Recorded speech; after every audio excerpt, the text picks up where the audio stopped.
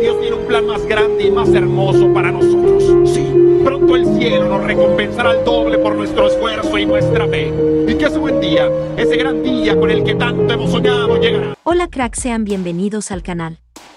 Los Gallos Blancos disputarán su próximo compromiso como local en el Estadio Morelos de la ciudad de Morelia, este jueves 17 de marzo cuando reciban al Atlético de San Luis, en punto de las 21.05 horas, a puerta cerrada.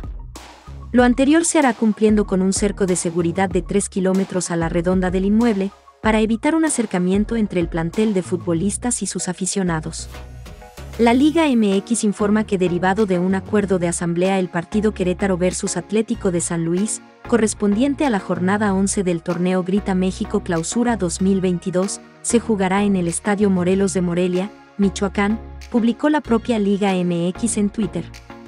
Cabe mencionar que en el calendario del torneo Clausura 2022, al Querétaro le resta recibir a los equipos de Tigres, Cruz Azul y Juárez, compromisos aún pendientes por definir sede.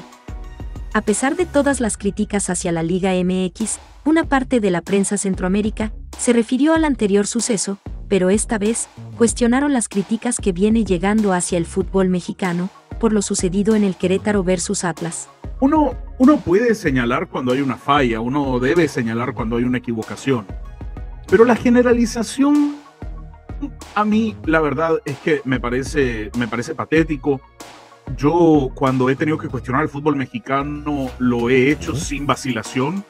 Yo les adelanté hace como un año más o menos que iba a pasar lo que está pasando hoy, ¿no? Que la selección estadounidense eh, iba a ser la mejor selección del área.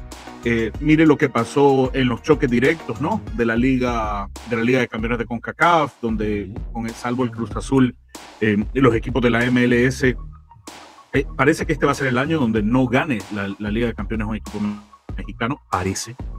Pero no se vale generalizar por la torpeza de pocos ah, al fútbol en general. Eh, lo que pasó en Querétaro es triste, es lamentable. Lo que pasó en Querétaro refleja eh, el peor aspecto del, de la sociedad, el peor aspecto de la raza humana. Pero no es verdad que el fútbol mexicano se resume en lo que pasó en Querétaro. Correcto. No es cierto que el fútbol mexicano se limita a la a barba eh, vimos a unos cuantos tontos organizar, orquestar eh, y celebrar. El fútbol mexicano es mucho más que eso. El fútbol mexicano es un fútbol de mucha historia, de mucha cultura, de mucha tradición. El fútbol mexicano es un fútbol eh, de y para la familia y yo no me voy a sumar a, aquellos que pretenden resumir tanta historia del fútbol mexicano en, en, en, en, la, la idiotez que cometieron unos pocos. Ahora, esto ya pasó hace días, obviamente se sigue hablando al respecto. Nosotros aquí en el programa no lo tocamos, podemos hablar también al respecto sin ningún tipo de problema. Pero es importante lo que usted dice, Camilo, porque lo que sí le voy a decir yo es que me parece muy irónico que hoy algunos países celebraban cuando se, cuando se tuvo el rumor de que se podría castigar a México quitándole la sede del Mundial. Eso no se hace.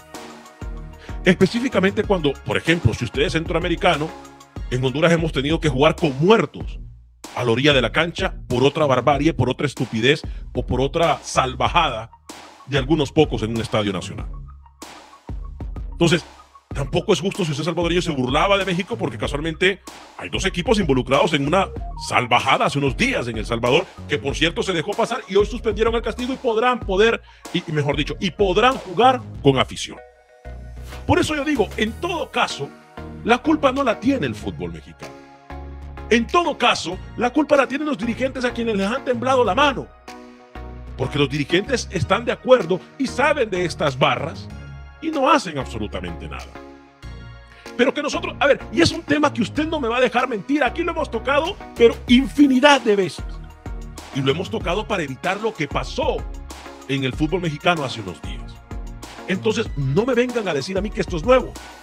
Muchos se quieren subir al carrito de, de, la fama y ahora se creen hasta bloggers y quieren comentar al respecto y quieren tirar basura donde no hay que tirar basura.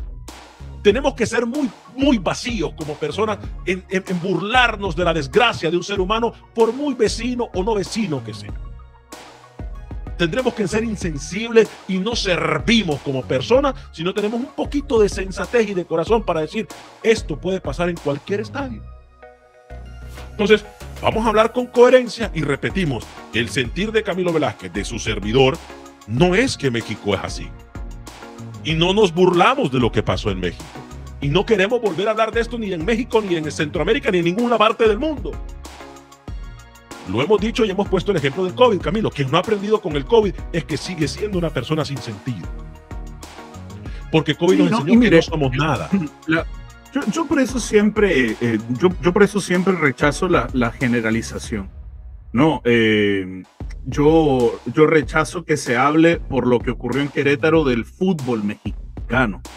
Y hay que analizar a, profundidad causas, eh, causales, hay que analizar a profundidad eh, qué, en dónde se falló que permitió que esto ocurriera. Y hay que hablarlo porque, porque hay que cambiar las cosas, ¿no? Porque hay que tomar acciones, porque hay que tomar, eh, hay que aplicar variantes. Pero no se puede satanizar a un fútbol el histórico, el más histórico de CONCACAF, por, por, por, por algunos actos. Antes de que continúen. Eh, yo escuché mucho hablar alrededor del tema de la desafiliación, de la desafiliación.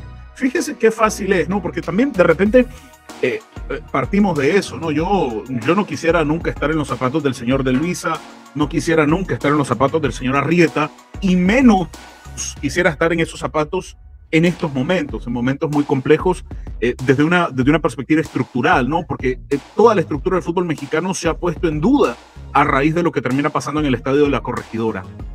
Pero, qué fácil decimos nosotros, desafilien, no nosotros, pero incluye, desafilien al Querétaro, al Querétaro hay que desafiliarlo.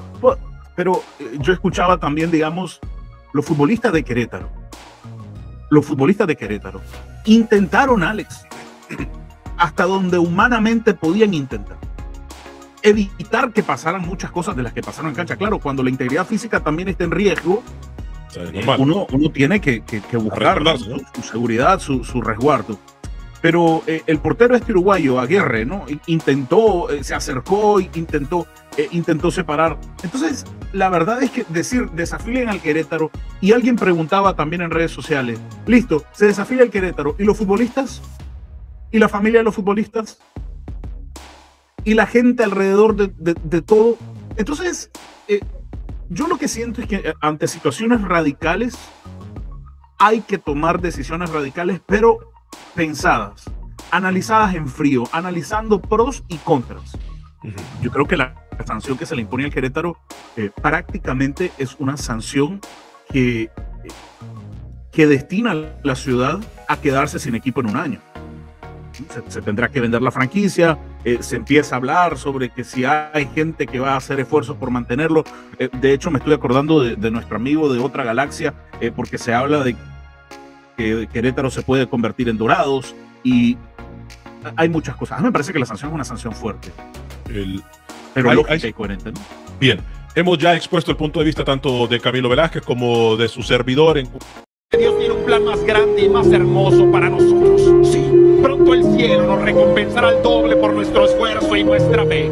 Y que ese buen día, ese gran día con el que tanto hemos soñado, llegará.